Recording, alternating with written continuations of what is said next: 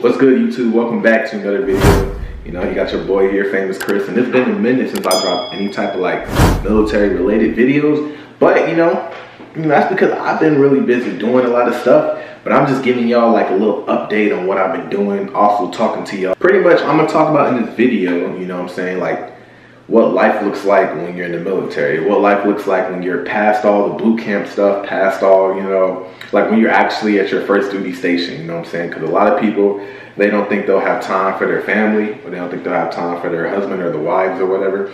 So, you know, I'm just letting you guys know that it's possible that you could live a normal life once you're in the military. And I'm just gonna talk to y'all like about like, you know, what all goes on and what, you know, I currently do. And, you know, if you're just thinking about joining the military, but you don't want to be like away from people or like away from your husband, away from your wife or whatever, you know what I'm saying? I'm here to, you know, reassure you that you can still be with them, you know? Anyway, hopefully, you know what I'm saying, y'all miss me, because, hey, I will miss me too. But hopefully, you know, y'all like the video, enjoy the video, and let's get started with the video.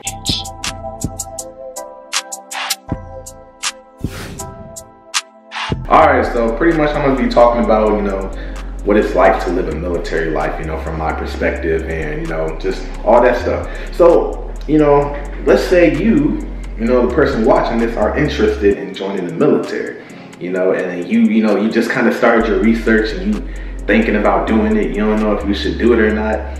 One thing I should tell everybody that if you're thinking about doing it, then you should do it because if you don't if you don't want to join, you would it would even be on your mind, you know what I'm saying? Like, but if you have that thought that hey, maybe I could low-key do this, you know, I believe in you, you know.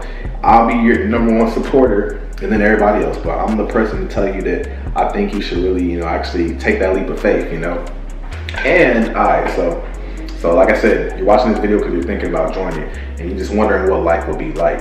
And if I'm like, you know, going on and on, my bad, I ain't got no script or nothing, you know, I'm just freestyling my videos. Okay, so you're thinking about joining, the first thing you want to do is figure out what branch you want to join, you know. You got like Army, the Marines, the Navy, the Coast Guard, the Air Force, you know what I'm saying? Whenever you, you know, each branch has their own thing that they're really good at. But let's say you decide to join the Air Force, right? So you pick the Air Force like me you talk to a local recruiter, just go on Google and just type in like Air Force Recruiting Center and then just go there. You'll talk to him. First thing he'll want you to do is get you scheduled to take the ASVAB test. So when you take the ASVAB test, I mean, obviously you want to do some studying, you know, for the test too. You don't just want to wing it because if you try to wing it, I mean, you might still do good, but a lot of times you might not, you know, get the score you want to do, you know. But first, um, figure out like what job you, know would interest you. You know, you can check that out on the websites or all type of um, websites will show the jobs we have for the Air Force. But figure out what job you want and then see what score you need to get to have that job. So after you study and take that test or whatnot, he gonna be like, all right, okay, you scored this, and here's all the jobs you could pick between with that score that you got. So let's say you like, all right, I want to be a load master, for example and you got the right score for a loadmaster, then after you pick your job, you need to go to MEPS. So MEPS is pretty much going to decide if you can actually be in the Air Force. It's just like a test to make sure that you're in good shape, you know. If you're a female, one of the main things that can disqualify you in MEPS is if you're pregnant, you know what I'm saying? And I, I think that's pretty much it. I'm not 100% sure, but I know if, you, if you're pregnant, then they're going to disqualify you. But you know, as for the guys, you just got to make sure you're in shape. You know what I'm saying? To just like do all the little small tests and everything. They're gonna do like a blood test and everything. They pretty much it's every test in the world, drug test, all that too. So if you're thinking about joining and you currently smoke weed, go ahead and you know stop right now and get out your system and then go up there. Last thing you want to do is go up there and then you know embarrass yourself because you know they found out that you do that. But um anyway, so you took the test, got your score, found your job, and you passed, you know, the MEPS thing, right? So next thing they're gonna do is they're gonna have you go for a shipping date. So now you're just getting ready, saying goodbye to everybody, you know, and now you're off to boot camp. When you go to boot camp, that might be the hardest thing that you ever done in your life. And I ain't gonna lie, it definitely was the hardest, you know, mental, not physical thing, because I was already kind of in shape, but like mentally, you know, just being in that environment. That's gonna be tough for everybody, especially if you're not used to that. But once you get past the boot camp thing, now you gotta go from, you gotta go to tech school. So let's say like you pick Loadmaster. So now you're gonna go to school to learn how to be a loadmaster. And everybody's school is different. Like for example, I'm gonna um, I'm not for sure. Like, let's say your school is in um, Mississippi, right? And then I did security forces. So my school was actually still in Lackland. So after you graduate boot camp, I thought you was gonna be able to go home for a little bit. You know what I'm saying? I was already ready to just chill and see my peoples and all that. Wrong. So pretty much I had to stay in Lackland. So like all the people that have, you know, tech schools, they go to wherever they be. Like some people might have their school in Cali, some people might have a school in Florida. So pretty much you're gonna go to school for your actual job. So they're gonna teach you how to be whatever you, you know, you picked in your job. Once you do that, then you all um, get to be in your actual duty station. I got Nellis Air Force Base in Vegas, so know I get to be here. So after I did my um, tech school in Lackland, I came here, and I promise you, once you're in, you know what I'm saying, the actual thing is just like a nine to five. Like you do your job, and then you go home. You might have the weekends off or whatever, depending on what your schedule is, and then you just go home. You know what I'm saying? Like, I'm sorry the video was pretty fast. I kind of just try to break it down pretty much. But everything, you know, you do outside the military is completely up to you. It's not like you in um, tech school and you got like handcuffs around. Because don't do nothing stupid, you know what I'm saying? If you go to jail, number one thing they tell me is establish dominance quick. But you, you don't want to go to jail because, you know, with security forces, one thing that we do is we know we you know we call the jails and we ask them hey uh is there any military people in their jail and if, you know if they find out that it's you hey i don't know what's gonna happen but something gonna happen but like i said for me once you uh, finish your little, you know, nine to five job, then you just do whatever you want, you know. If you first, you know, let's say you're not married and you start off in the dorms and whatnot too, but if you are married, as soon as you um, graduate tech school and boot camp, then you know your uh, spouse gets to come with you wherever you're at. You know, you get them on your orders, and then you can get a house on base or whatnot, or you can get a house off base too. And they will pay you a good amount to live off base too. Or you could decide to get a house on base, and you know, you pretty much don't gotta pay for nothing. You ain't gotta worry about that. You still get your check, but you don't get the extra money you would if you live off base. And what else am I missing to talk about? But like I said, I do my job. You know, my job is. Uh, Security Force, obviously, I work Tuesday through Friday. I might have a training day on Monday. Like tomorrow, I got a training day, depending on what time you're watching the video, but it's Sunday right now. So tomorrow, I got my training day. And then after that, I'm working straight, you know, Tuesday through Friday. But on the weekends, I do my own thing or whatnot.